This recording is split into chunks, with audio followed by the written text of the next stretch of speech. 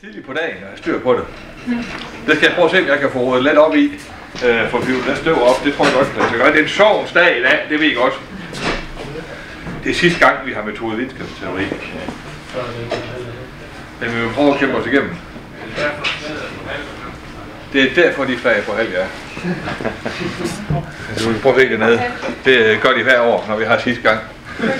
Men øh, vi må prøve at få det bedste ud af det. Gudskelov, så kan I arbejde videre med det i jeres projekt, det her fag, eller fagområde, eller hvad vi skal kalde det. Så helt simpelt, det skal vi ikke. Øhm, jeg har en plan om, at jeg skal være færdig senest kl. 10. Det bliver jeg i hvert fald i dag. Selvom jeg har tilladt mig at sætte en punkt på dagsordenen, som er sådan lidt... Øh, jeg ved ikke helt, om det går godt eller skidt, det finder vi ud af. Allerførst det vil jeg sige lidt om mine oplevelser fra Project Review. Jeg har været med til Project Review hver evig eneste gang, der har været afholdt på forretningsingeniørstudiet. Altid hver gang, og det vil jeg godt sige lidt om fælles. Nogle gange så holder vi sådan en fælles opsamling på selve dagen. Men i og med, at det kørt over to dage i år, og øh, nogle gange så skal folk vente en hel dag på at få et eller andet opsamling, som øh, måske egentlig bare har mest med de andre grupper at gøre, så har jeg valgt at gøre det på en anden måde i år. Så vil jeg lave verdens korteste repetition om metode videnskabsteori. Vi kan selvfølgelig ikke nå det hele på 10 minutter, men jeg kan fortælle jer, hvad det er, som jeg håber, I har blivet mærke i, i det her fagområde. Og så har jeg jo lovet jer for et par gange siden, kan I huske det? Fordi jeg et par gange kommet til at sige noget om statistik og kvantitativ databehandling og sådan nogle ting. Og jeg har spurgt jer, om I har hørt om en normal fordeling. Den vil jeg jo ikke snakke om i dag. Øh, og derfor er jeg kommet for skade at love, at jeg lige vil vise jer ultra kort, hvordan man kan databehandle ud fra et par enkelte teknikker. Jeg har overhovedet ingen intentioner om at lære jer statistik. Det vil sige, at jeg har undervist i statistik i 25 år. Og skulle jeg lære folk fra bunden statistik, så skulle jeg have mindst 20-30 lektioner, før man kan sådan lidt. Og jeg har kun lige en halv time. Men det, øh, det er nok til at vise det. Og grunden til, at jeg vil det, det er, at jeg har set jeres product review, jeg har set jeres datasæt hos nogle af jer. Og jeg kan se, at det der datasæt, I har, det lægger altså op til, at man kan lave øh, guldanalyser. Og så synes jeg jo, det er synd at lade være. Øh, det står helt frit for, at man er med til den del. Man må meget gerne gå, når jeg har fat. Man må gerne gå nu, men man må gerne gå efter punkt 2. Det betyder, at hvis man sætter med datasæt, der er 100% kvalitativt, og man er bare den mindste smule nervøs for, at nu bliver jeg bare forvirret, når han siger noget om det her. Det vil jeg simpelthen ikke have ind i mit hjælp. Så må man altså gerne forlade lokalet. Øhm, nu ved I det, nu er jeg advaret. Vi holder en pause lige inden der. Øhm, det kan man selv hænge på, men det har man et kvantitativt datasæt, så synes jeg, man skal lige blive hængende og se, om der er noget. Jeg har taget et statistikprogram med til jer. Eller er det lækker? her? Der findes masser af statistikprogrammer. Det mest avancerede, øh, eller de to mest avancerede programmer, jeg anvender, det er noget, der hedder SPSS og SAS. Har I hørt om det før? Nogen har. Det er bare at lære de programmer, vil tage 20 lektioner. Så findes der noget, der er meget nemmere. Der findes såkaldte plugins til Excel. Den findes der et hav af. Nogle gratis, nogle billige. Det her, det koster 200 kroner, det vil jeg godt være. En licens, jeg lægger her. Det hedder Hypostat. Det er nok det mest brugervenlige statistikprogram, jeg nogensinde har arbejdet med. Øh, nu prøver vi at se, om det kan gå. Håber jeg. Øh, og så, ellers, så skal vi arbejde videre med projektet, og jeg bliver som altid hængende øh, til en gang hen på formiddagen. Til middag måske, så kan I altid komme og spørge, hvis der er et eller andet til Min, mit syn på, min kommentar på. Vil man ikke, så står også frit, frit, frit for at lade være. Er det en okay dagsorden? Det var godt. Øhm, project review. Jeg sad jo og gjorde mig nogle notater og tog nogle kommentarer, og eller kom med nogle kommentarer undervejs. Og det øh, vi er allermest bekymrede for, og grunden til, at vi holder Project Review, det er jo, at der skal sætte en gruppe eller to, der er fuldstændig fejl på den, ikke kommet i gang. Og der oplever vi en gang imellem, der er nogen det her, det tænker vi, det går aldrig nogensinde.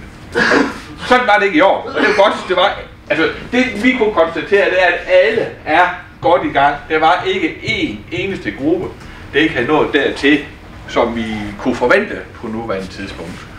Og der man, det man kan forvente på nuværende tidspunkt, det er, at man har en problemformulering, der er nogenlunde præcis. Man kan altid diskutere den sproglige formulering i den og sådan nogle ting. Men i det store hele, så kunne den i teoretisk set afleveres i morgen, den problemformulering. Og så har man gjort sig nogle overvejelser om to ting, tre ting vil jeg sige. Man har gjort sig nogle metodiske overvejelser. Man har lavet en lille bitte smule empirisk dataindsamling. Og så har man gjort sig nogle teoretiske overvejelser gående på, hvad er det så for nogle teorier, modeller, begreber, vi kan lægge ned over vores opgave. Og igen, alle grupper havde gjort sig nogle overvejelser. Nogle var kommet længere end andre, sådan skal det også være. Men alle var godt i gang. Og det er hele formålet med Project Review, der er at sikre, at I har nogle stages, nogle, nogle gates, I skal igennem. Vi kender det sikkert fra projektledelse, nogle af jer. Det sætter man også milepæle op i en projektledelsesmodel, for at sikre sig, at, at man når nogle ting. Og det kan vi konstatere, at milepæl 1, den er i, i hvert fald dem, der mødte frem til Project Review, øh, kom godt igennem, og alle dem, som har fremmed undervisning her, det mødte frem. Så det var rigtig fint, det var rigtig godt.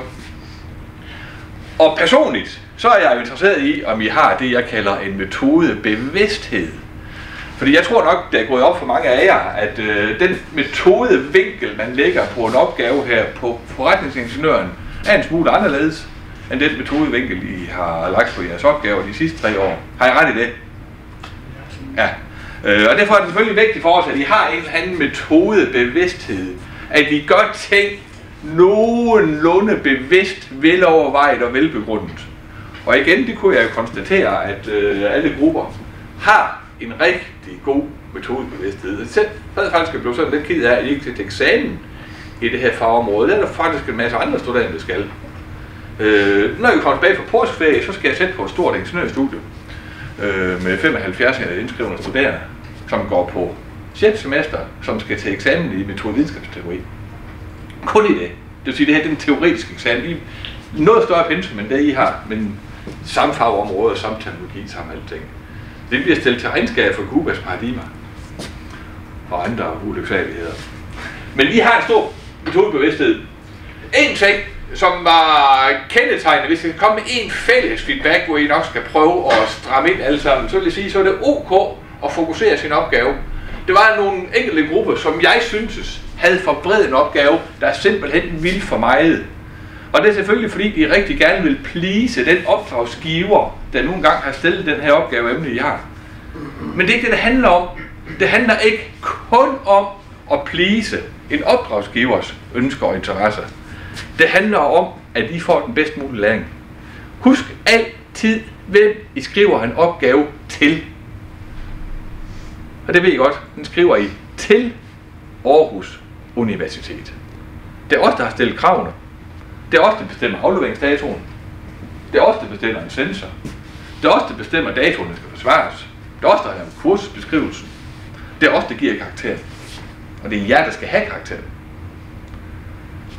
Så I skriver altid en opgave til universitetet, men I skriver den tit for en virksomhed.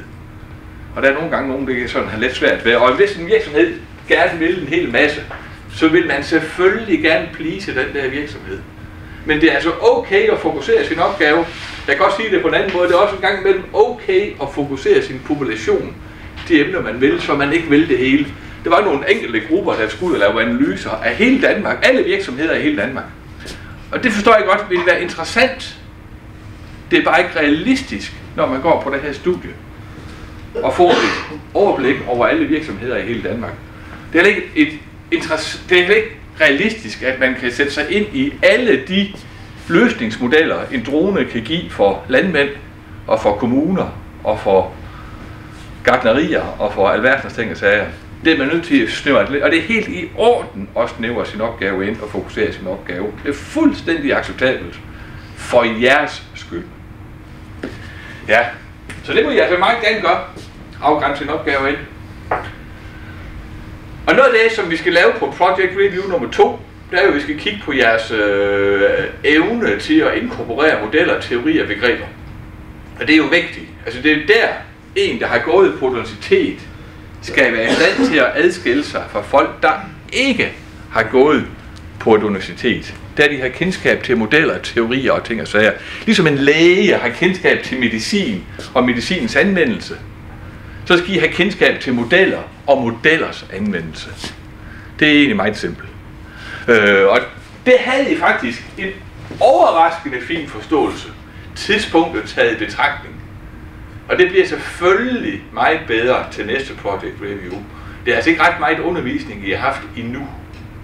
Det skulle meget gerne give væsentligt større overblik og indsigt i løbet af de næste uger. Der har jeg i hvert fald en tro på. Det plejer jeg at gøre. Så det gør det selvfølgelig også med jer.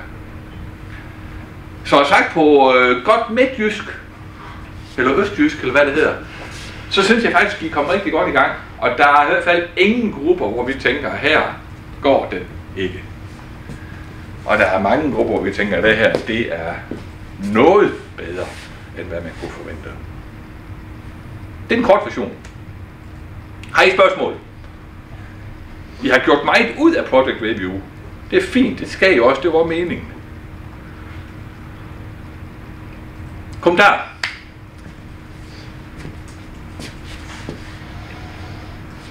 Du vil ikke sige noget? Nej, jeg synes, det lyder godt. Nå, okay. Ja. Så øhm, ja, altså, kom, vi diskuterer jo altid hver år, hvor mange project reviews skal vi have. Skal vi have en, skal vi have to? Ligger de på de rigtige tidspunkter? Skal vi helt taget have den? Der findes studier, der slet ikke har det. Øh, alle de ingeniørstudier, jeg har med at gøre, der har vi, øh, der har vi øh, lagt det ind. Nogle gange en, nogle gange to. Det er sådan lidt forskelligt. Øh, på, de, på de første semester, før, første gang man har noget, så vil jeg sige, så ligger vi altid to. På de senere semester er det nogle gange nok med et. Skulle I gå to semester på det her studie? Vi så næste semester skulle fylde noget andet. Vi kunne sagtens finde en masse anden teori at fylde på i også. Så tror jeg, det ville være nok med én gang project review har jeg så på fornemmelsen. Nu har vi lagt to. Godt. Så det var mine observationer. I er meget stille i dag, det ved I godt. Øhm, så vil jeg godt lige lave sådan en opsummering af de her metodelektioner, vi har haft, som jo er tænkt som et øh, som nogle hjælpelektioner til jeres projekt. Om de så har været en hjælp for jeres projekt, det kan vi så se, når I gang I skal evaluere det her fag, eller studiet i det hele taget. Det håber jeg, har været. Har det det? Har det været brugbart til jeres projekt, det vi har lavet her? Ja. Godt. Ja. Det var meningen. Hvad havde det sket, hvis vi ikke havde haft de her lektioner? Hvad havde, hvad havde I så gjort? Ja, Jeg tror, den spørgeundersøgelse, vi lavede, havde måske handlet lidt. Altså, vi havde ikke været klar over, hvordan vi skulle stille spørgsmål. Altså. hej. Okay. Ja, Jeg tror også, vi var inde på med næsten en metode. Øh, fordi det er ret svært at læse til. Ja. Som øh, det har været ret godt farten. Ja. Ja. ja. Det er meget svært. Jeg kan fortælle jer en lille øh, anekdote, fordi det her, det her fagområde, med nøjagtigt samme pensum, som vi har, har vi kørt på HD-studiet. Det er fuldstændig HD-pensum, vi har. Og det kørte vi i mange, mange år med 40 lektioner metode. Jeg har selv haft nogle af dem nogle år. Og det fik øh, dårlige resultater. De kunne sgu ikke finde ud af, de unge mennesker. Det fik faktisk også halvdårlige evalueringer. Og de syntes ikke, de kunne se noget mening og mål med det. Og så tænkte vi, nu må vi gøre et eller andet. Og øh, så tog vi en drastisk beslutning. Vi skar nemlig antallet af lektioner ned fra 40 til 16. Og i de 16 lektioner, der ville vi, øh, havde vi et mål med, at vi ikke skulle stå og dosere viden mere end maks halvdelen. Og så fik de et lille projekt, de skulle arbejde med. Så skyrocket resultaterne. Og det gjorde evalueringerne for de studerende sjov nok også. Så øh, det var simpelthen pædagogikken, det var galt med, øh, fandt vi ud af. Du har også lige en kommentar. Øh, ja, jeg tænkte, det er også meget rart at have de der udtryk, man skal sætte på det, kan man sige, så man ved, hvad man snakker om. Ja. Fordi nogle af tingene kunne vi måske godt sådan, altså nogle af tingene er lidt logisk, man kan tænke, ja, men, altså, man skal have nogle repræsentative data så videre. Kvalitativ og kvantitativ, tror jeg alle har hørt om. Ja. Men, øh, men, men det er fint at have sådan en fælles øh, terminologi omkring det. Altså, Ja. hvad er det, vi snakker om? hvornår. Ja, ja. Det skal man have. Man skal sige tingene præcist. Det er det, der er vigtigt. Nå, men lad os lige prøve at opsummere, hvad det egentlig jeg har prøvet at forklare jer. Det, jeg har prøvet at forklare jer, det er, at det er meget, meget vigtigt, at man tager udgangspunkt i sin problemformulering, når man foretager sig noget som helst. Og det, I skal foretage jer, på det her studie, det er selvfølgelig, at I skal anvende noget teori. Teori, vi har doseret i fag, der hedder økonomi og afsætningsøkonomi og strategi og ledelse og innovation og business model innovation. Altså der, der har været nogle fagelementer, der har været samlet i to fag, som vi så også skal til selvstændig eksamen i. Så de der teorier, modeller og begreber skal I så meget gerne kan anvende på jeres problemformulering. Ligesom en læge anvender sin viden om medicin på en patient, så er jeres patient det er en problemstilling, som I skal anvende jeres medicin viden om, som jo så er modeller og teori inden for den samfundsvidenskabelige verden. Og så har vi jo lagt en lille krølle på, at øh, skal man gøre det ordentligt og rigtigt, så skal det selvfølgelig også ske med udgangspunkt i en empirisk dataindsamling. Og øh, derfor skal I vide noget om, hvor gav, gavnlig og vigtigt det kan være at indsamle empiri, og hvordan man metodisk gør det på en måde, så man ikke kan stille spørgsmålstegn ved kvaliteten af den empiri, I har. Og så er der nok nogen, der allerede siger, hvorfor siger jeg kvalitet, hvorfor siger man ikke reliabilitet og validitet og alle de der sjove ord. De siger, det er ikke nødvendigt længere, for det ved I selvfølgelig godt, hvad det betyder. Så det er ikke nogen grund til at opsummere det lige der. Og hvis man har en god empirisk dataindsamling, har anvendt sin teori rigtigt og på den rigtige måde, så kan man selvfølgelig lave en konklusion på sin problemformulering med udgangspunkt i teori og empiri. Det er det, det handler om. Og jeg har også givet jer nogle eksempler på, hvordan man kan få teori og empiri til at hænge sammen. Jeg tror nok, jeg har introduceret et begreb, det hedder definitionsvaliditet. Kan I huske det? Og et begreb, det hedder abduktionsteknik. Det er også noget med at få det her til at hænge sammen. Så sådan nogle begreber kan I også vælge Ikke nok med, I kan anvende begreberne, I kan faktisk også få det omsat til en praktisk problemstilling. Jeg i hvert fald til Project Review var der i hvert fald rigtig mange, der fortalte, at det arbejdede de meget med ekspertise. Så det er egentlig det der, jeg har forsøgt at forklare jer, øh, og pakke det ind i en masse sjove begreber. Så har jeg vist jer en model, jeg har haft med for eneste gang. Det er Pentagon-modellen. Pentagon-modellen, det siger, at det her, det er ligesom øh, det, man skal omkring, når man skal lave en øh, opgave på akademisk niveau. Man tager udgangspunkt i sin problemformulering, som selvfølgelig tager udgangspunkt i et formål med sin opgave. Hvad er det egentlig, vi vil løse? Og rent opgave teknisk, så er det det her formål, man beskriver i sin indledning, i sin teaser, i sin kald det hvad I vil, det allerførste skriver jeres opgave, hvor man beskriver, hvorfor er det det hele taget interessant at anvende droner i landbrug. Hvorfor er det interessant for et konsulentfirma at komme ud i nogle virksomheder og gå bagud i deres værdikæde og så fremdeles. Og har man en problemformulering, kan man begynde at diskutere, hvad for en empiri skal vi indsamle. Så har vi noget med teori og begreber, som man kan drage ind i sin øh, opgave. Og så er der selvfølgelig også noget metodik til, hvordan man så i det hele taget får samlet øh, de her empiriske data øh, ind. Den der model har jeg også vist jer mange gange. Øh, den er tegnet på en lidt anden måde i jeres bog, det hedder Den skændbarlige virkelighed. Det er den næsten nok firkantet og bruger lidt færre begreber, men det er i bund og grund nøjagtigt den samme. Det siger, at øh, det her, det er sådan det meget konkrete. Nemlig, her begynder vi helt konkret at snakke om, hvordan samler vi data ind. Ja, så også hvordan analyserer vi. Og det er så det, jeg lige vil bruge bare lige 10 minutter på i dag. Og fortælle en bitte smule om dataanalyse. Og skal man samle data ind, så skal man selvfølgelig vide noget omkring, hvad er det så for en tidshorisont, vi har med at gøre. Er det en stikprøve nu og her, eller er det en stikprøve, der bliver taget hen over tid, øh, etc. Og ikke nok med, at man skal snakke om tidshorisonten, man skal også snakke om, hvad er det egentlig for nogle strategier, der ligger bag, når man samler data ind. Øh, er det case-studier, man skal lave? Jeg har givet jer det meget berømte pizza-eksempel et par gange. Er det surveys, man skal lave? Det er den teknik, mange af jer anvender. De fleste faktisk alle sammen, tror jeg. Og det kan gøres på en masse, masse, masse andre forskellige måder. Det der, det er jo nok den teknik, I brugte, I gik på øh, diplomingeniørstudiet, tror jeg. Det gik I ned i laboratorier og lavede eksperimenter til højre og venstre. Gætter jeg på, nogle af jer har gjort ret intensivt i hvert fald.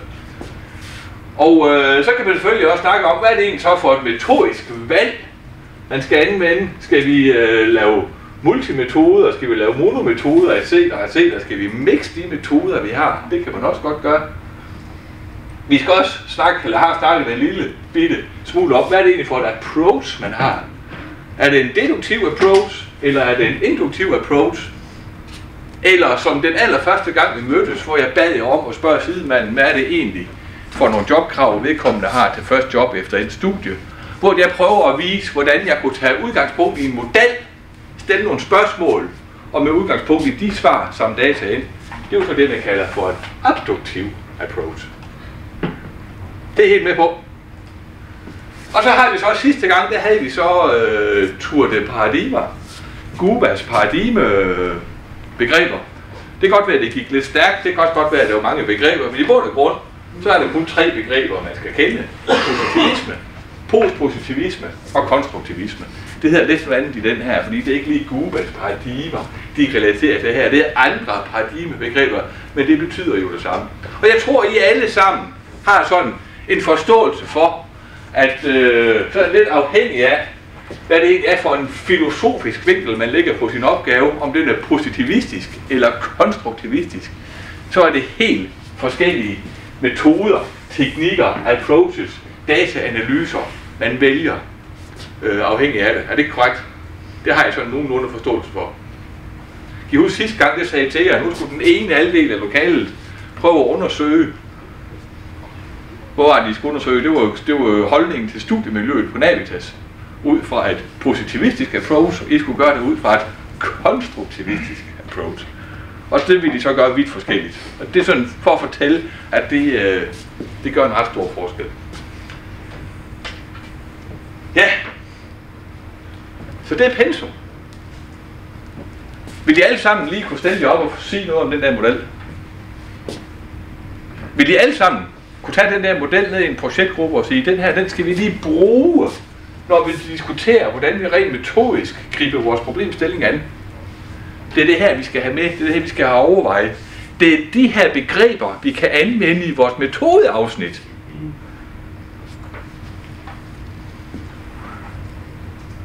Det så der i hvert fald ud til, til Project Review, at de kunne. Manglede bare lige at få det ned på skrift.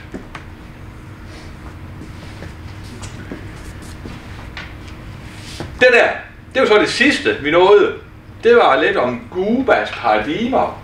Og jeg fik også jer forklaret, at øh, udover filosofen Guba, så findes der altså rigtig, rigtig mange filosofer, idehistorier, som har anlagt deres begreber på, hvordan man filosofisk kan angribe verden, problemstillinger etc. Guba er bare en blandt rigtig, rigtig mange.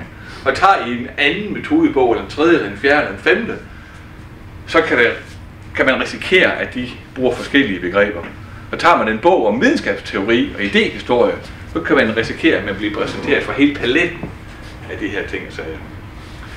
Ja, øh, det ligger vist nok ret langt fra det, man beskæftiger sig med på ingeniørstudiet, tror jeg nok, normalt. Det kom nogen til mig sidste gang efter lektionerne, og sagde, at de havde faktisk haft det på det. Hvem var det, kom sagde det?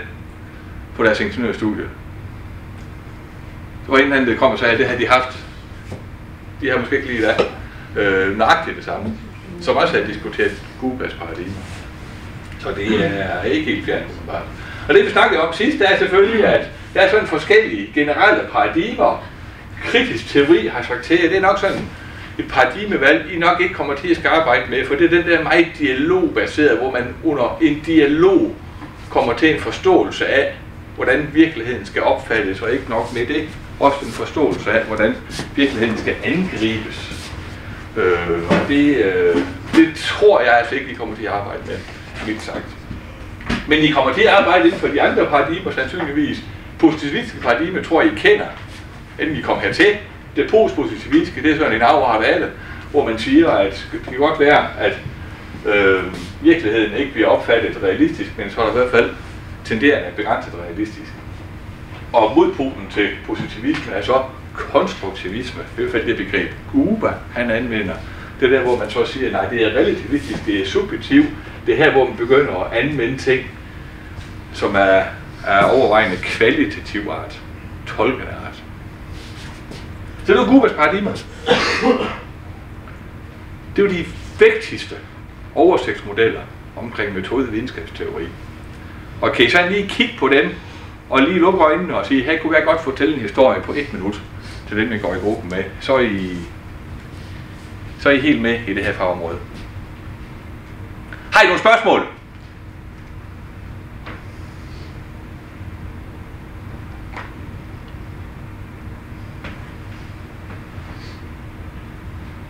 Det er ikke tilfældet.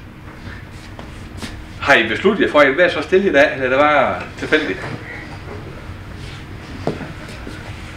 Ja, godt. Men øh, så det kunne jo sådan set siges på øh, 35 minutter.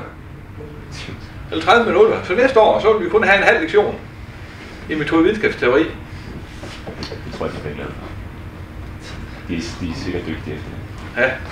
Det kræver så, at man har læst og forstået inden. Det, øh, det ved jeg ikke, om jeg kan. Så lovede jeg jer for et par gange siden, at jeg vil sige en lille bitte smule, altså noget, der også har med metoder at gøre, det er jo databehandling. Det er faktisk en vigtig del af det at arbejde metodisk. At man så også behandler de data, man får ind med respekt og ordentligt og seriøst, og præsenterer dem på en måde, så det virker overbevisende. Og øhm, jeg er godt nok glad for, at det er ingeniørstuderende, jeg står overfor i dag, fordi nu, nu går der altså en lille bit smule øh, teknik i det. Jeg skal lige høre jer. Hvem herinde, hvis jeg siger begrebet en stokastisk fordeling, hvem har hørt det før? Hvor, hvor, hvorfor er det fire, der ikke har hørt om det? Der var flere. Ja. Hvem har hørt om normal fordeling? Okay. Jeg kan så fortælle jer, at en normal fordeling er en stokastisk fordeling. Ja. Så vi har nok bare brugt nogle andre ord. Ja. Så har vi alle sammen hørt. Ja, så har I alle sammen haft det. Ja. Hvad betyder ordet stokastisk i øvrigt? Normalt på den. Nej.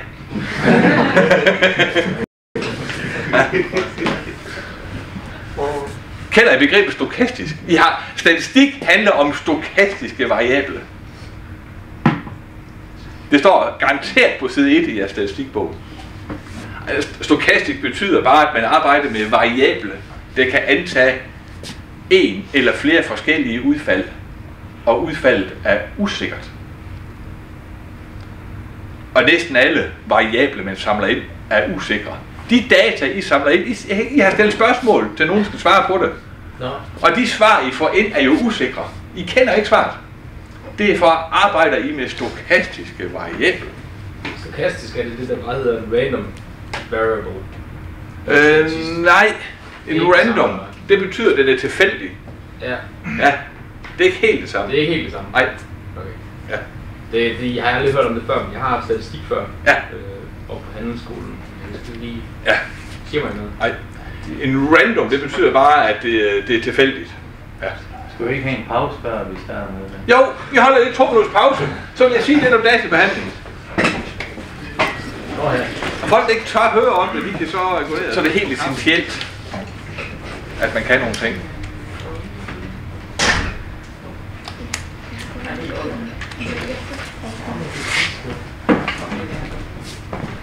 Nå, jeg vil lige prøve at lave lidt par forsøg med jer. Men inden jeg lige går i gang. Øhm, når man skal øh, analysere data, så er der jo, som I ved, to typer data, man kan få ind. Og jeg tror, at de fleste af jeres projekter opererer med begge typer data. Øh, man har nogle kvalitative data, man får ind, hvor man stiller nogle kvalitative verbale øh, spørgsmål, som skal formuleres ved hjælp af sætninger og ord. Nogle gange bliver de stillet øh, på skrift, nogle gange bliver de stillet øh, mundtligt på telefon. I ringer rundt, I møder fysisk frem, I gør en masse forskellige ting. Men I står i hvert fald alle sammen over for at få nogle kvalitative data ind. Og det, der er vigtigt for jer, det er jo at få det dokumenteret rigtigt, og så få det analyseret rigtigt. Og det er altså lidt svært. Jeg synes, jeg synes personligt, det er den sværeste del at håndtere. Ikke så meget at dokumentere det. Øh, kan I få lov, så skal I så selvfølgelig altid optage de interviews, I laver. Og så skal I bare lægge dem ned på en USB-stik sammen med jeres rapport. Så har I jo dokumenteret, at det er fundet sted. Som en lydfil. Ja, der har vi altid studerende, der gør. Det, det kan man gøre. Det var et eksempel. Jeg har ikke sagt, at man skal. Men der er mange, jeg har set mange, der har gjort det. Ja. Så vi skal ikke transkribere. Jo, det, det er så den anden metode. Det er, at man transkriberer, som det hedder. Det er, at man sætter sig ned og tolker. Prøv at se, om man kan se nogle... Altså, Det, det er noget, man gør, hvis man har et antal respondenter, der har sagt noget. Så skal man prøve at se, om man kan finde nogle fælles nævner. Har de sagt noget inden for samme kategori? Har de sagt noget inden for samme emne? Har de sagt noget omkring de samme holdninger og ting og sager? Så prøver man at få det skrevet ned øh, på en eller anden måde. Og så skal man have tolket på det. Og det, øh, det kan godt være ret svært at gøre. Øh, fordi det bliver brugt mange år. Det gode ved er, det er jo, at I er mange mand i gruppen, så øh, prøv at sætte to forskellige til at tolke på de kvalitative data, der er, og se om de når frem til det samme. Så er der i hvert fald en sandsynlighed for, at, at det er rigtigt, det I tolker jer frem til. Så hvis man vedlægger en lydfil, så behøver man ikke Jo, altså, i, hvis man vedlægger en lydfil, så er det kun for at dokumentere, at det har fundet sted. Det er ikke sådan, at vi selv lytter på den lydfil og begynder at tolke på det. Slet ikke. Det, øh... Jeg har ikke sagt, at man skal vedlægge en lydfil. Jeg har sagt, at man kan. Nogen gør, nogen gør ikke. Øh, det vigtige er i hvert fald bare, at I har et eller andet sted, hvor I prøver at få oversat de kvalitative data til nogle tolkninger, nogle håndfaste ting, som kan bruges i jeres rapport. Øhm, så gør jeg lige nogle allokere tid til det. Det tager altså lidt tid at lave de der kvalitative tolkninger. Men det er ikke det, jeg snakker om i dag. Jeg vil snakke om den kvantitative del. Og grund til, at jeg vil det, det er, at godt nok synes jeg, at det her det er svært. Men jeg ser altid studerende gør det godt nok. Det, det er sjældent her, jeg ser studerende fejle. Faktisk stort set aldrig. Øh, jeg kan være lidt uenig i deres tolkning, og måske oplever jeg en gang imellem, og specielt hvis der er studerende, der skriver for deres egen virksomhed, så kan de have en tendens til, at de hører det, de gerne vil høre. Og så er det bedre at være lidt neutral. Øhm, det jeg snakker om i dag, det er de kvantitative databehandlinger. Øhm, der hvor man har nogle tal, eller nogle kategoriseringer. Det behøver sådan set ikke at være tal. Det kan egentlig godt være en kvalitativ variabel, man har gjort kvantitativ. Køn, det er jo en kvalitativ variabel. Mand og kvinde, det er kvalitativ. Men jeg kan gøre den kvantitativ, nemlig jeg kan da godt lige lave en graf nu, der fortæller, at herinde, her er der to køn, og øh, så mange her er kvinder, og så mange her er mænd. Så har jeg gjort en kvalitativ variabel kvantitativ. Det jeg har lavet der, det er at beskrivende statistik. Det tror jeg godt, I kan. I kan godt lave lavkagediagrammer. I kan godt lave søjlediagrammer. I kan godt lave gennemsnit. I kan godt beregne en andel.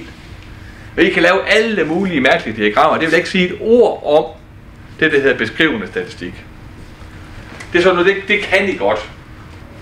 Jeg har selv så en holdning til, og nu er jeg hård og kysk, måske. Jeg har sådan en holdning til, at øh, det, det kunne I jo også i gymnasiet. Så øh, man skulle jo gerne have løftet sig en lille bit smule niveau, i hvert fald hvis man har gået på et kvantitativt orienteret studie på et universitet, må man godt komme over det der gymnasieniveau med lavkagediagrammer og søjlediagrammer og andel og kurver og hvad ved jeg, som vi alle sammen kan. Øhm, og der, hvor man nogle gange ser folk løfte sig, det er det, der hedder analyserende statistik. Det var nogen, der gik, for de sagde, at de havde haft statistik, de kunne det hele. De kan godt analysere på deres data. De kan teste på en eller flere parametre. Øh, I har hørt om normalfordelingen. En normal fordeling har to parametre. Det kan vi klar over det. En middelværdi og en varians. Jeg har måske kaldt det en standardafvigelse, men det er det samme. I en standard normalfordeling er det præcis det samme. Fordi det er variansen 1. Og kvadratroden af 1 er 1. Det er standardafvigelsen det samme. Det er sådan en lille indskudt bemærkning. Og nogle af jer har haft om det her før. Hvem herinde har prøvet at teste på en middelværdi? Det er konfidensintervaller, hypotesetest. Det er sådan, halvdelen har prøvet det. Det vil jeg ikke sige noget om i dag. Det der, hvordan man tester på en parameter. Grunden til, at jeg heller ikke vil det, det er for det første et kæmpe stort emne. Det vil tage mig 20 lektioner at komme igennem det. Og jeg tror ikke, det er så fandens relevant igen for jeres projekter, hvis jeg skal være helt ærlig. Jeg, jeg, jeg har ikke set nogen opgaver, hvor jeg tænker, at det er godt nok interessant for dem at gå hjem og analysere noget statistik. Øh, slet, slet ikke.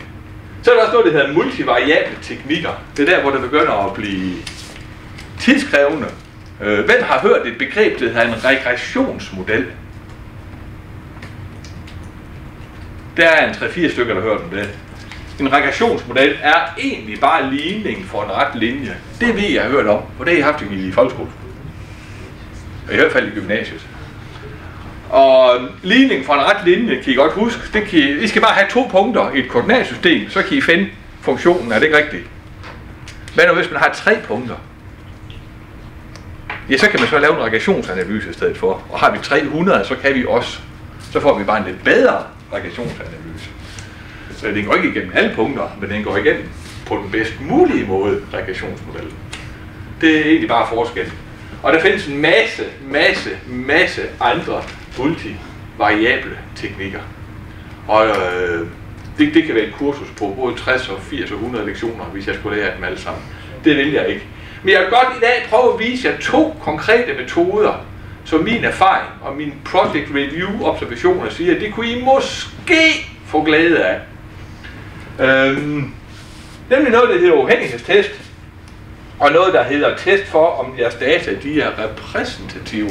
Rigtig mange af jer skal nu ud og samle data ind fra et antal virksomheder, fra et antal landmænd, for et antal gardnerier, for et antal potentielle kunder og ting og sager.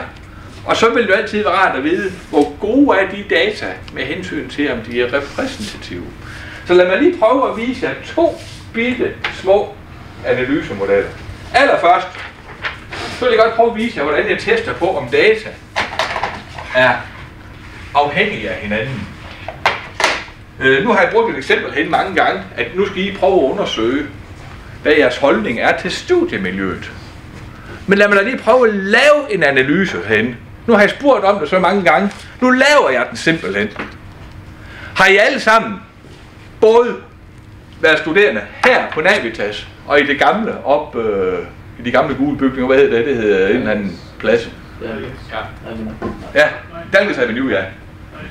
Dalgas plads, et eller andet. I har alle sammen været begge steder. Nej. Nej, dem der ikke har været begge steder, I skal prøve at gøre som om I har været det. øh, fordi nu vil jeg godt prøve at analysere, om I synes, studiemiljøet er blevet bedre ved at flytte på Navitas. Det er et meget simpelt spørgsmål. Er det bedre hernede, end op i det gamle? Kan I alle sammen svare på det spørgsmål? Ja. Og det er jeg vil. Jeg vil prøve at undersøge, om der er afhængighed. Jeg laver lige en hypotese. Hypotese formulerer man nogle gange som på 0 og 1. Jeg kan godt bare skrive den med ord. Det her, det skal ikke tage af. Jeg gør det på den her måde. Det er fordi, jeg sådan har jeg gjort i 25 år. Det kan gøres på hundredvis af forskellige måder. Sådan her står der bare i de fleste statistikbøger. Jeg skal godt lige prøve at undersøge, om der er uafhængighed mellem to variable. Og jeg tager der lige en variabel, der hedder køn. Og øh, holdning. Der er to køn herinde. Mænd og kvinder. Og der er to holdninger. Det er blevet bedre hernede, eller det er blevet dårligere hernede. Er det ikke meget simpelt? Og det betyder... Ja, er det et ja-nej spørgsmål? Ja, det er det. Og det betyder, at nu vil jeg kunne lave en, og her, H1-hypotesen, det er så det modsatte. Det vil sige, at det er afhængighed mellem køn og holdning. Her vil jeg kunne lave en meget simpel antalstabel. Jeg vil godt kunne lave en tabel her, der hedder, at øh, her har jeg, jeg ved ikke, om jeg har gjort rigtigt, her har jeg kvinder, her har jeg mænd, og her er dem, der synes, det er blevet bedre hernede, her er dem, der synes, nej, det er ikke blevet bedre hernede. Er det rigtigt? Jeg vil godt kunne tage de to variable, køn og holdning, og proppe ind i den der antalstabel. Ikke korrekt? Og så vil jeg kunne teste min hypotese. Og når man skal teste hypoteser, så er det egentlig meget simpelt. Og grunden til, at det er så vigtigt, at I har hørt om normalfordelingen, det er, at I kan godt huske en normalfordeling. Den ser nogenlunde sådan her ud. Det er ikke rigtigt. Og så er der nogle ekstremer. Herude her er det meget sandsynligt, at vi får nogle observationer. Det er meget sandsynligt, at vores variable giver nogle resultater, det ligger ude i enderne. Det er til gengæld meget sandsynligt, det ligger herinde. Er det ikke rigtigt? Det her det er en fordeling. Og hver eneste gang, man laver statistik, uanset hvad for en af de her metoder, man anvender, så gør man det altid på den måde, at man beregner en teststørrelse. Og en teststørrelse, den beregnes ved, at vi simpelthen laver en stikprøve. Så samler vi data ind, og så beregner vi, hvor meget afviger den her stikprøve fra det, vi regnede med. Det, er altid, det kalder vi en teststørrelse. Og så skal vi så finde ud af den her teststørrelse. Hvad for en fordeling følger den så? Nogle gange følger det en normal fordeling. Andre gange en anden fordeling. Der findes mange fordelinger. Men det gode ved det, det er, at vi altid kan tage og tegne fordelingen. Nu tegner jeg den sådan lidt. Det er ikke fordi, jeg tegner skævt i dag. Man kan altid tage en fordeling og se den der teststørrelse. Ligger den ude i ekstremerne, eller gør den ikke? Og det jeg regner med, det er, at det er afhængighed. Hvis den ligger ude i ekstremerne, så vil teststørrelsen ligge her. Det vil sige, her konkluderer vi jo et. Altså det er afhængighed. Og hvis den sådan falder nogenlunde sammen med afhængighed, så ligger den her. Her konkluderer vi jo 0. Jeg skal prøve at vise lige lidt, hvad det betyder. Sådan er statistik i al enkelhed. Meget, meget simpelt. Som data ind, vurder om data er ekstreme i min stikprøve. Og hvis data er ekstreme, så konkluderer vi en ting. Hvis data ikke er ekstreme, konkluderer vi noget andet. Og det eneste, du sådan set bare skal, det er at kan identificere, hvad for en fordeling det her følger. Nu vil jeg lige tage to konkrete metoder, og teste størrelsen i begge metoder, jeg vil vise jer, er Kian fordelt. Har I hørt om den fordeling før? Der er nogen, der nikker. Så de her to teststørrelser følger en fordeling, det hedder en ki i anden fordeling. Ja, det kan jeg godt forklare jer på 10 lektioner, hvorfor det er lige nøjagtigt kianen i anden fordelt. Så vil det gå ret meget hardcore matematik i det og bevisførelse. Så skal vi ikke bare springe derover og sige, at nu accepterer I bare, at det her det er kianen i anden fordelt. Jeg kan godt lige prøve at lave den her analyse. Så nu tager vi lige og spørger pigerne først. Altid pigerne først. Hvor mange piger er der? Det er også ligegyldigt. Jeg spørger lige jer piger. Øhm, hvem af jer synes, det er blevet bedre ved at flytte ned på Navitas? Langt op med en hånd. Tre piger. Så der er tre piger, der synes, der er bedre ved at flytte på Navitas. Så spørger jeg lige de resterende piger, hvem synes, det er ikke blevet bedre ved at flytte på Navitas? Det er fire. Godt. Så øh, der er syv piger i alt. Fire af dem synes ikke, det er blevet bedre. Øh, tre af dem synes, det er. Så skal vi have fat i drengene. Hvem af drengene synes, det er blevet bedre ved at flytte på Navitas? 1, 2, 3, 4, 5, 6, 7, 8, 9. Der er ni drenge, der synes, det er blevet bedre. Og så skal vi have, hvem af drengene synes ikke, det er blevet bedre. 1, 2, 3, 4, 5. Prøv lige at tage de her data og kigge på dem bare. Så prøv at bruge husmandsbetragtninger. Tyder det på, der er sammenhæng mellem køn og holdning? Ja. Pigerne, er det cirka 50-50? Drengene, er de sådan jubelglade tilfreds? Det er i dobbelt så mange, der er. Så jeg spørger lige igen. Tyder det på, der er sammenhæng mellem de to variable? Ja. Ja, men hvorfor kan jeg ikke konkludere det? For lille datasæt. Det er et lille datasæt. Det er en lille bitte stikprøve. Her er der 7, 21 respondenter. Og hvor mange studerende er I hernede? 2.000. 21 ud af 2.000. Det er måske sådan lige vel frisk nok, hvis jeg konkluderer. Har jeg givet det datasæt til min mor og sagt, at der er sammenhæng mellem køn og holdning, så har hun sagt, ja. Altså mænd er der meget mere tilfredse ved at flytte ned end pigerne. Så selvfølgelig er det det. Og så er det, jeg vil sige, du har ikke haft statistik. Fordi vi har haft statistik, så vil du vide, det der det er kun en stikprøve. Du skal også tage hensyn til usikkerheden. Altså den lille stikprøvestørrelse. Du skal nemlig beregne et tester, vil jeg sige til hende. Og så skal du vurdere den tester i en fordeling. Så kan du konkludere. Men det vidste I jo godt, fordi I har hørt om normalfordelingen. I har hørt om stokastiske variable og sådan nogle ting. Ja, jeg vil lige prøve at forklare, hvad det er, der være gældende for noget, der er ekstremt. Jo, det regner man på. Det regner du altid, i, i statistik regner du altid på det, ved at tage de parametre, der er med i din teststørrelse. Og der er forskellige parametre i en teststørrelse. Skal du teste på en middelværdi, så er der tre parametre. Der er middelværdien, der er standardafvielsen, og der er stikprøvestørrelsen. Her er der nogle parametre, jeg viser lige om lidt. Prøv at se her, var det ikke nemt at samle data ind? Jeg kunne i hvert fald lige gøre det ved hjælp af håndoprækning. Det er jo nemt at tage to variable. En variabel, der hedder køn, og en variabel, der hedder holdning. Samle data ind og komme det i en antalstabel. Er det ikke rigtigt? Det er jo ikke svært, vel?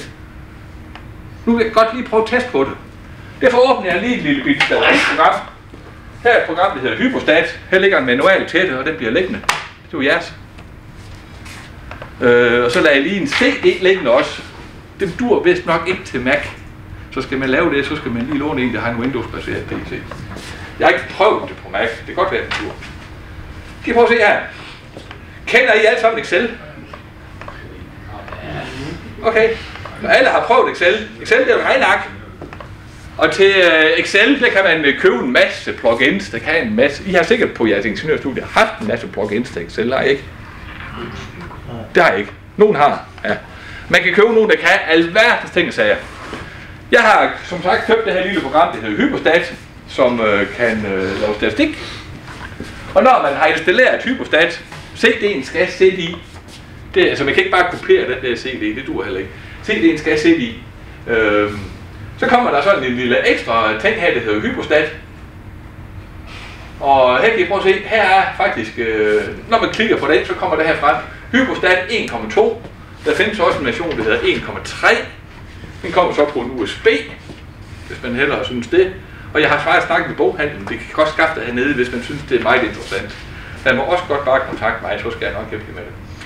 Øhm, prøv at se her, når man starter hypostat, så kan I prøve at se, her det er de forskellige statistiske metoder, hypostat kan. Test på en masse parametre. Det ved det, jeg skrev lige før. Altså test på forskellige parametre. Det er middelværdier, en gang middelværdier, to gange andel, variant, lambda, det er intensiteter. Øh, altså hvor mange kunder kommer der eksempelvis i Bilka per time, øh, kan man også godt begynde at regne på. Og det kan en masse ting sagde jeg. Det jeg lavede her, det var en antalstabel. Hvis jeg lavede en tabel, og så talte jeg op, hvor stort et antal kvinder sagde ja, hvor stort et antal mænd sagde ja, og så fremdeles. Og jeg kunne lave antalstabeller på hvad som helst. Og der er en lille menu hernede, der hedder antalstabel. Den kan jeg lige prøve at vælge lige om lidt. Men inden jeg lige gør det, så tror jeg først lige, at jeg vil taste øh, data ind i Excel her. Så jeg prøver at se, jeg har lavet en lille antalstabel. Jeg har noget, der hedder kvinder. Jeg har noget, der hedder mænd. Og jeg har noget, at man kunne svare ja, det er blevet meget bedre. Og man kunne svare nej, det var bedre før. Og hvordan ser data ud? Det var tre kvinder, der svarede ja. Fire svarede nej. Mændene var noget mere positive. Ni synes det var blevet bedre hernede. Og fem synes det var ikke så godt. Det der, det er mit ansætstabel. Det er ikke svært at tage sted. Så åbner jeg lige hypostat. Så vælger jeg lige den, der hedder antalstabel, som også hedder uafhængighedstest, hvis man vil det. Og se, jeg vil godt hente data fra en cellereference. Det betyder, at jeg markerer lige om lidt, hvordan jeg markerer data op. Det her det er min antalstabel, og jeg markerer simpelthen bare de data, jeg har tastet ind. Det kan næsten ikke blive nemmere. Og så klikker jeg på OK, og hvis ellers den makro virker, som ligger på min CD, så sker der ting og sager.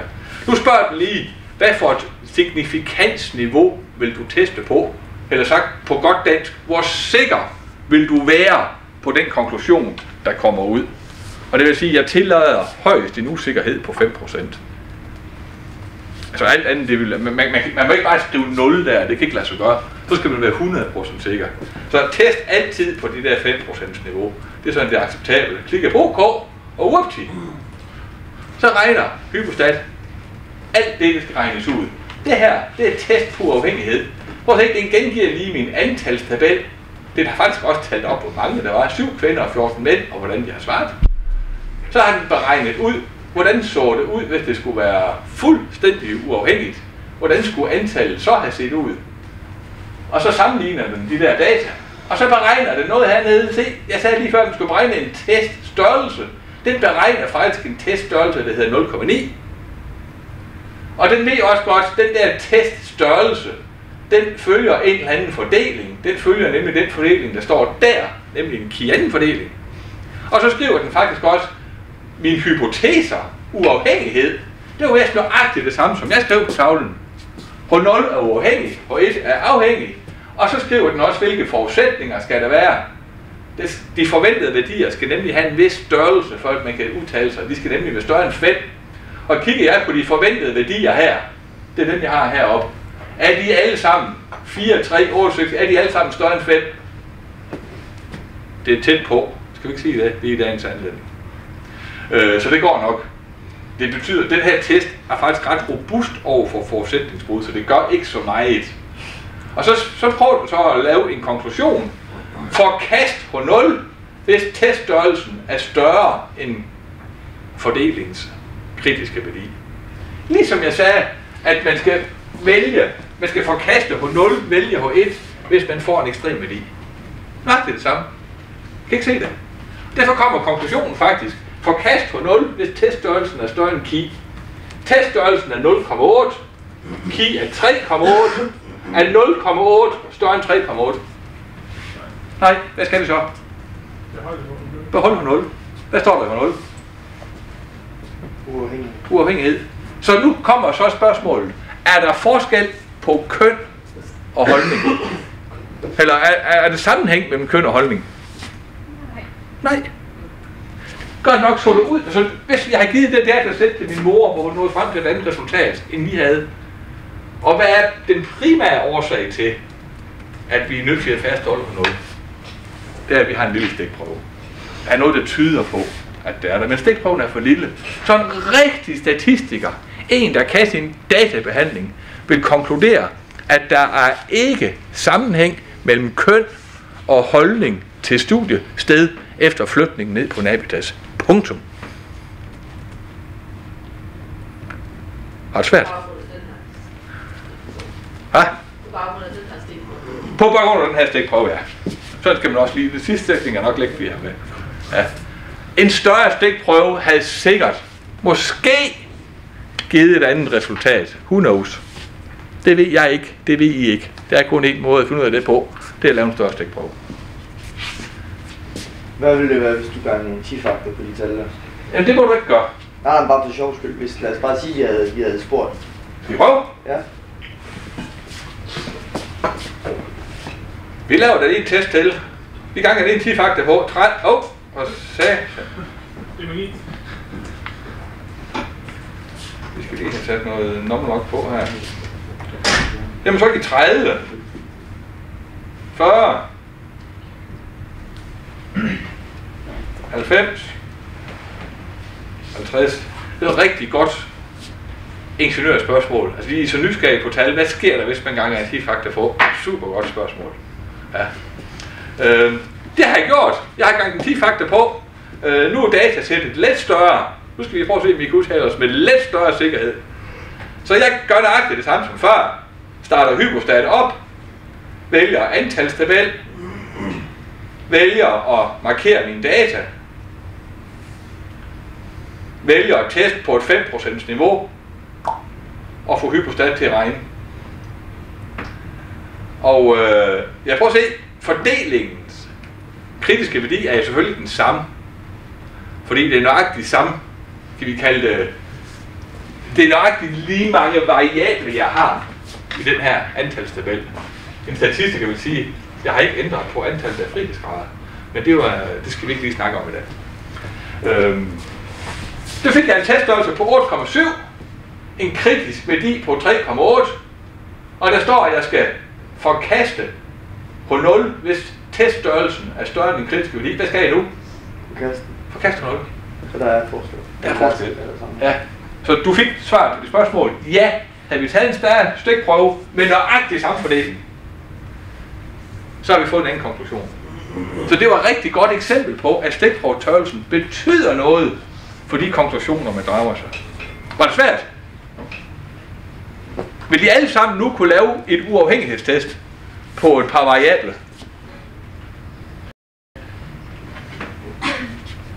Tror godt, jeg kan. Ja, og nu gjorde jeg det så lige på køn og holdning til navitas. Jeg kunne gøre det på alverdens variable. Og se, det er jo kvalitative variable. Jeg gjorde kvantificerbare bare ved at tælle dem op. Ja, Men du kan jo kun bruge den test, hvis det er et ja-nej-spørgsmål. Hvis det er en, øh, hvad kan man sige, øh, et spørgsmål, hvor du har øh, en skala fra 1 til 10, ja, så vil du ikke kunne bruge en give-test. jo, vil du det? Ja, det vil jeg. Altså så vil jeg jo bare, i stedet for at have... Så vil jeg sige, øh, hvis mænd og kvinder herinde skulle svare på, hvad synes I om øh, studiemiljøet? Fra 1 til 10, før og nu. Så vil jeg sige, øh, her har jeg kvinder, her har jeg mænd, her er mindre end eller lige med 5, her er større end 5. Tal dem op. Okay, men du kan ikke få det nuancerede billede, som i alt det, jeg siger 1, 2, Jo, det vil jeg godt kunne gøre.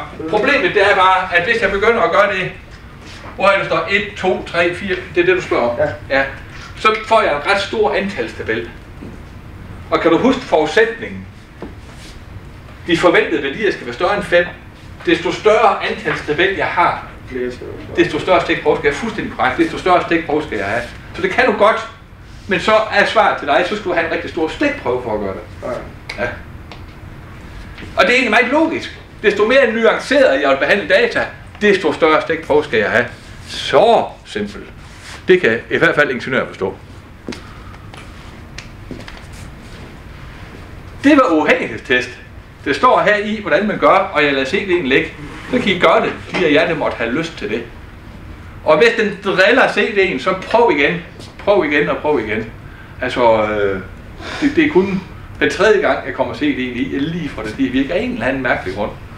Nu virker det så første gang, jeg startede det der, det var lidt tilfældigt. Ja. Har I mod på med? Så det var et eksempel på, hvor jeg i kan se, at I alle sammen har et datasæt, der vil kunne behandles kvantitativt ved hjælp af en ret simpel teknik, nemlig test for uafhængighed. Og har man det rigtige statistikprogram, så er det to klik. Øhm. Lad mig lige prøve at lave øh, et eksempel mere. Fordi et eksempel mere, som... Øh, og jeg laver simpelthen et konkret eksempel med jer igen, tror jeg. Det er, at man engang imellem har brug for at analysere, om data er repræsentative. Den stikprøve, vi har taget, er den stikprøve, der matcher populationen. Jeg har jo lige lavet en stikprøve herinde. Jeg har lavet en stikprøve på jer og jeres holdning til at flytte på Navitas. Og jeg har gjort den forfinet ved at dele op i køn, for at se, om det er afhængighed. Og så er der også en, der siger, ja, det er godt, du gør det, Jan, men det er garanteret ikke repræsentativt, den stikprøve, du lavede på de 21 mennesker. Og så vil jeg altså, som statistiker sige, det undersøger jeg da bare. For det kan jeg da nemt gøre. Jeg vil da nemt kunne lave en hypotese, der siger, nu vil jeg undersøge, om min stikprøve er repræsentativ.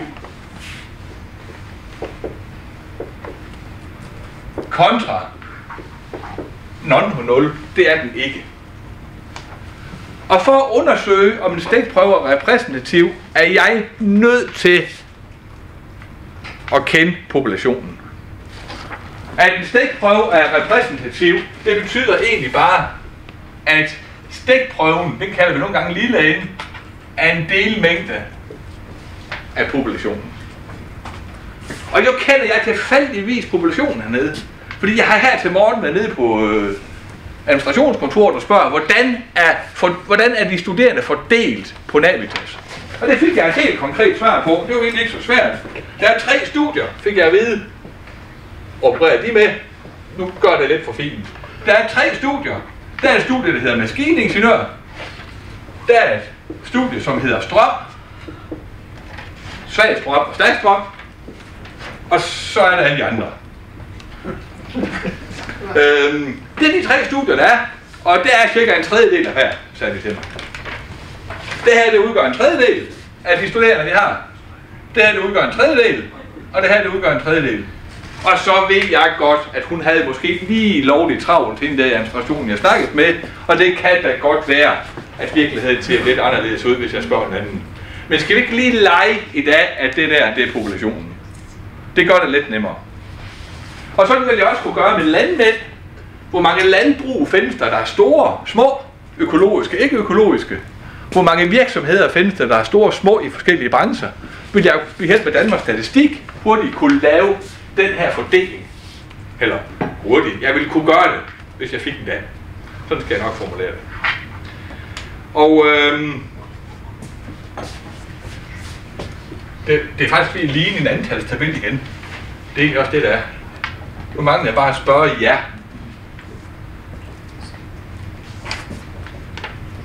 Hvordan I er fordelt. Jeg er 21 studerende. Den her indgår på et studie, der kan siges at være et maskiningsnødstudie? Det skulle så være en tredjedel af jer. Har så gået eller går, øh, fordi det Ja, jeg har gået. Op med en hånd, langt op. 1, 2, 3, 4, 6 mand har gået på noget, der ligner maskinen. Det er sådan ikke helt galt med en tredjedel. Hvor mange har gået på noget strøm, svag strøm, stærk strøm eller noget tilsvarende? Det var så kun tre. Ja, det er så ikke så godt. Vi er faktisk fire, den ene er syg. A4. Ja, fire, fire. Hvis vi tager også mere, vi så har vi Ja, Ja, ikke men det, altså fordi, jeg, det kommer så ikke så nøje lige, hvor mange der er, men Det er ingeniøren, det er nogle tal. Ja. Så skulle resten gerne svare det her. Det er så 11. Fordi der er 21. Resten, I har gået på noget andet. Det er hverken maskine eller strøm. Det er alt muligt mærkeligt andet. Nu er spørgsmålet, hvor mange skulle der have været, hvis det skulle have været 100% repræsentativt? Hvor mange skulle så have været her? Syv. 7, 7 og 7. Så den er ikke sådan, jeg har ikke lige ramt helt bullseye. Spørgsmålet er bare, om det, har, om det afviger så meget, at det her det ikke er repræsentativt. Og den er lige at finde ud af, om det er det. Jamen, jeg beregner en teststørrelse. Og så beregner jeg en fordeling, eller for et computerprogram til at angive fordelingen. Og så sammenligne jeg min teststørrelse i fordelingen. Det er for også kigge anden fordelt. Og hvis det kommer en ekstrem værdi ud, så forkaster jeg H0. Altså siger H1 er sat, altså den er ikke repræsentativ. Kommer der en størrelse ud i min teststørrelse, der er ikke alt for ekstrem, så fastholder jeg H0 og siger, jeg kan ikke afvise, at min stikprøve den er repræsentativ. Og nu kunne det være rart, om Hypostat også kunne gøre det her ved to klik, og gudskelov, så kan det. Så skal vi se, om jeg kan finde ud af det. Jeg taster først lige data ind, og øhm, jeg har forskellige retninger. Hvor er det, jeg kaldte den? Jeg kaldte den maskine, strøm og andet. Og det skal tages ind på en helt speciel måde, fordi jeg, nu er jeg nødt til at have det her antal, som øh, jeg har spurgt. Jeg kunne faktisk godt lige tillade mig at skrive, det er min stikprøvestørrelse. Jeg har spurgt, det kalder jeg lille n, fordi det hedder den tit i mange statistikfremstillinger. Her var det 6 mand, her var det 4 mand, her var det 11 mand.